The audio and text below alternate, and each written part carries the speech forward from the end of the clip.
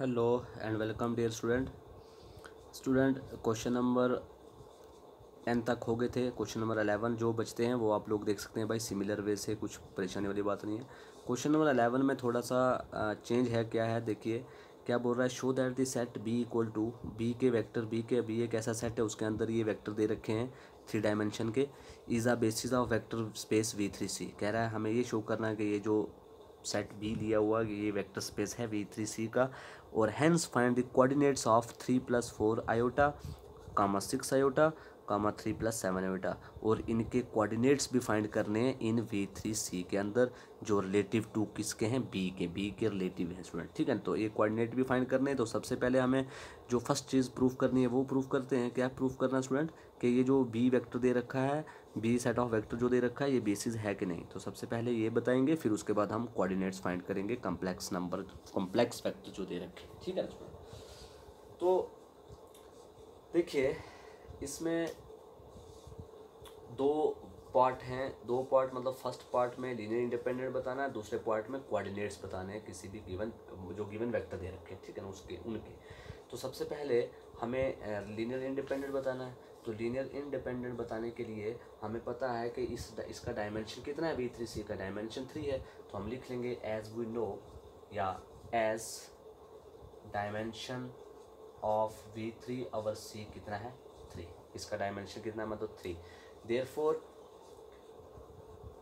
any three linear independent vector of this will form its basis के कोई भी, अगर इसका डायमेंशन थ्री है तो कोई भी तीन वेक्टर इसके वो बेसिस कब होंगे?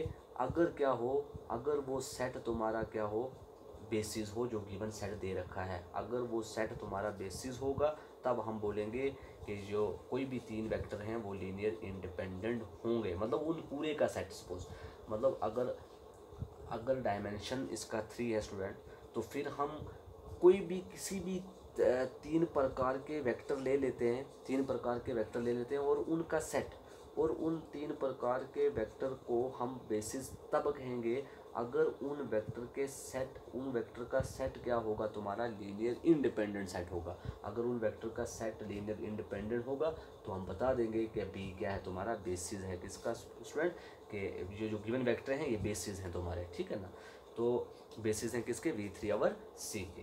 तो अब हमें चेक करना क्या है? बी इज़ लीनियर डिपेंडेंट तो अगर बी लीनियर डिपेंडेंट है तो लीनियर इंडिपेंडेंट सेट है तो हम बता सकते हैं कि बी क्या है? Basis of V three C है स्टूडेंट तो लीनियर इंडिपेंडेंट बताने के लिए क्या करते हैं? आप, क्या करोगे? कोई स्केलर लेट कर देंगे अल्फ़ा बीटा गामा या ए बी सी या A one B one A A one A two B A two ऐसे A one A two A three मान लेते हैं। मान लेते हैं A one A two A three B scalar जो किसमें है? सी में। ठीक है ना? बी स्केलर इन सी मतलब कम्प्लेक्स नंबर के के टाइप के स्केलर हैं। और जब इन स्केलर को हम लीनियर कम्बिनेशन करेंगे इनके साथ बी के वेक्टर के साथ तो फिर उन्हें चेक करेंगे, भाई कैसे करते हैं आपको पता है ना? जब लीनियर कम्बिनेशन बनाएँगे, वहाँ से इक्वेशन बनेगी और उन इक्वेशन को आप किसी भी मेथड से सॉल्व करोगे, आपके पास ए वन की वैल्यू निकलेगी ए टू की वैल्यू निकलेगी ए थ्री की वैल्यू निकलेगी।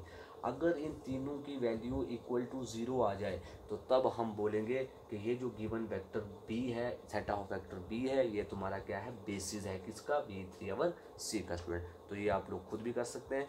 लेकिन इसका जो सेकंड पार्ट कहता है hence find the coordinates of this कि इस ये जो कम्प्लेक्स वेक्टर्स दे रखे हैं, इनके कोऑर्डिनेट बताओ जो रिलेटिव टू बी है। तो ये पार्ट समझने का है तो इसको देखिए कैसे समझें। देखिए स्टूडेंट टू फाइंड आप लिख सकते हो नाउ या next next to find next to find coordinates of coordinates of given vector coordinates of given vector मान लेते हैं लेट ये जो गिवन वेक्टर क्या है? Three plus four iota six iota three plus seven iota equal to मान लेते हैं, ये कोऑर्डिनेट्स निकालने के लिए मैंने मान लिया कि ये वेक्टर किसके बराबर है, किस मतलब जो बी के वेक्टर हैं, उनके लीनियर कम्बिनेशन के बराबर।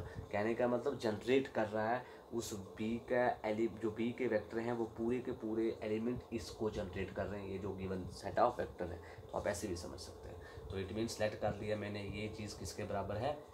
A of one zero zero A scalar है, ठीक है स्टूडेंट प्लस बी स्केलर ले लो, उसके कोऑर्डिनेट हैं one one zero plus C coordinate ले लेंगे वन वन वन जो बी के गिवन वेक्टर दे रखे हैं स्टूडेंट तो जब हम इनको this supplies three plus four iota या आप इसको एज इट इज़ रखो, इसी इक्वल के नीचे इक्वल यहाँ से देखिए जब ए को अंदर मल्टीप्लाई करेंगे बी को अंदर मल्टीप्लाई करेंगे सी के अंदर मल्टीप्लाई करेंगे और फिर उन सबको ऐड करेंगे तो आपके पास ये आ जाएगा A plus B plus C ठीक है स्टूडेंट फिर बी प्लस सी फिर क्या आ जाएगा?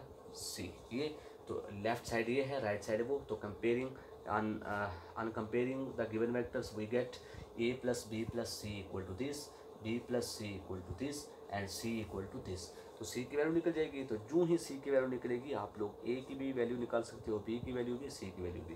तो आप ऐसे लिखोगे कि ऑन कंपेयरिंग वी गेट मैं कंपेयर करता हूँ तो मुझे क्या मिलेगा student A plus B plus C की वैल्यू आ जाएगी थ्री प्लस फोर आयोटा इसको मान लेंगे स्टूडेंट इक्वेशन फ़र्स्ट दूसरी मिली आपके पास बी प्लस सी तो उसके करस्पॉन्डिंग क्या मिलेगा? सिक्स आयोटा इसको मान लेंगे इक्वेशन सेकंड तीसरा आपको पेयर मिला सी तो विच इज़ इक्वल टू क्या है? थ्री प्लस सेवन आयोटा अब ये सी की वैल्यू पुट कर दो इसमें बी की वैल्यू निकल जाएगी।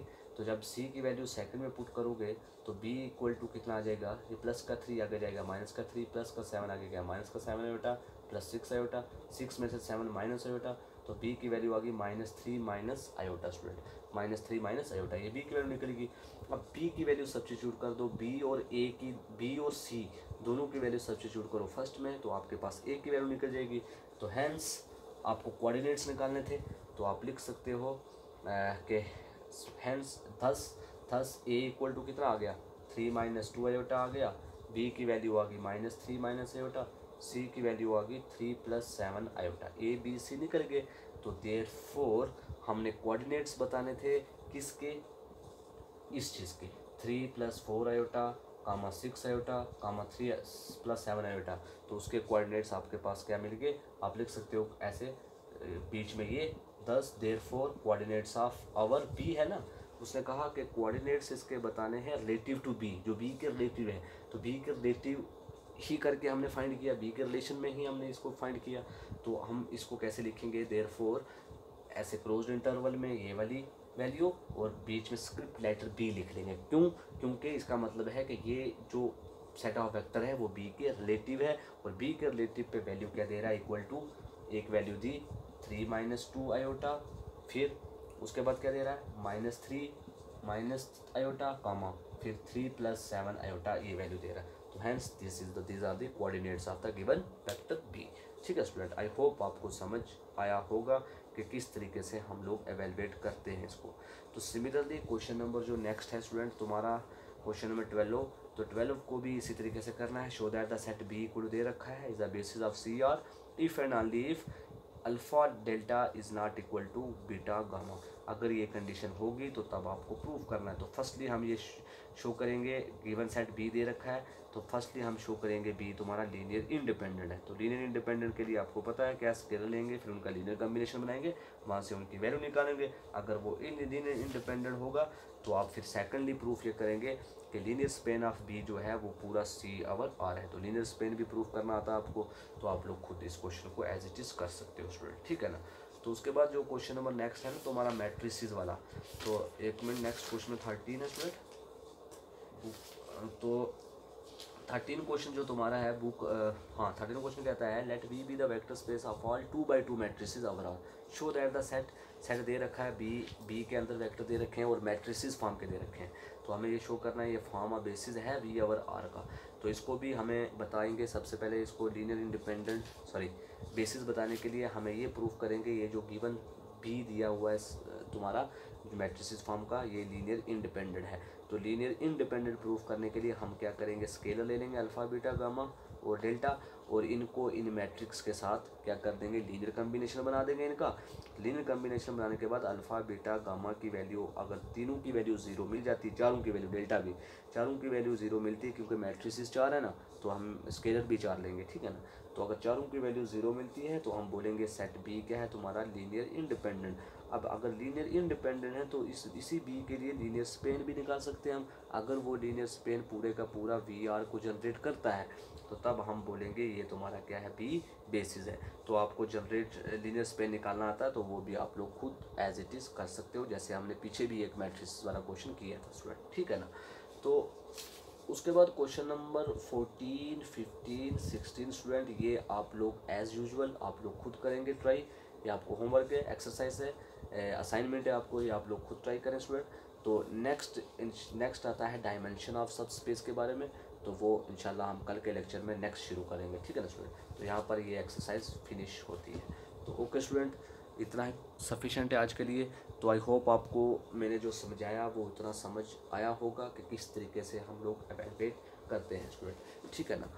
तो डियर स्टूडेंट जो क्वेश्चन है ना नेक्स्ट क्या नाम है इसका इसी एक्सरसाइज का क्वेश्चन नंबर जो फोर्टीन और फिफ्टीन है, वो तो बिल्कुल इजी है। वो आप इसी तरीके से कर सकते हो, उनका लीनियर कम्बिनेशन बना के, वहाँ पर लीनियर इंडिपेंडेंट शो करोगे तो आप बता दोगे कि वो क्या, अगर लीनियर इंडिपेंडेंट शो हो जाता है तो हम बोल देंगे कि वो क्या है बेसिस है, ठीक है ना? तो फोर्टीन फिफ्टीन में ऐसे ही करना है लेकिन जो सिक्सटीन क्वेश्चन है ना तो सिक्सटीन क्वेश्चन में इनफाइनाइट डायमेंशन वैक्टर स्पेस के बारे में बताया हुआ है। तो इनफाइनाइट डायमेंशन वैक्टर स्पेस किसका? Of over the field Q rational number का फ़ील्ड ले रखा है और सेट ऑफ़ रियल नंबर है जो इनफाइनाइट डायमेंशनल वेक्टर स्पेस वाला है। तो इनफाइनाइट डायमेंशनल वेक्टर स्पेस के लिए थोड़ा ये क्वेश्चन आपको आ, शायद आई थिंक आप ना कर पाओ। तो इस क्वेश्चन को मैं क्या करूँगा? कल के लेक्चर में अगर अगर मैंने आगे पढ़ाया भी तो तभी भी आ, अगर मैंने पढ़ाया भी तो फिर भी मैं कोशिश करूँगा उस लेक्चर से पहले इस क्वेश्चन को आपको समझा दूँगा, फिर मैं नेक्स्ट पढ़ूँगा, ठीक है ना स्टूडेंट तो उस क्वेश्चन को पेंडिंग रखें तो बाकी आज के लिए इतना सफिशेंट है स्टूडेंट